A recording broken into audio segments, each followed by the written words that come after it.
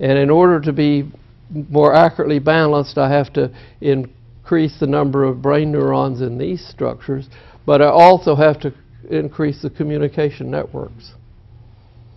And um, there's a tremendous amount of cortical functions in the visual area that is being used here. I'm actually having to do um, calculus and vector analysis. I mean, this is natural calculus and vector analysis in order to deal with the trajectories.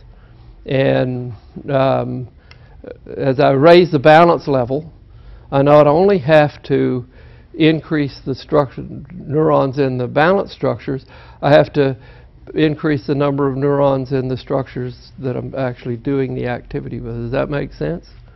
Does it? And so actually by doing the activity and then increasing the balance to where you can still handle it and you still have control and slowly but surely build it, what you're actually doing is expanding the brain structures that work on this.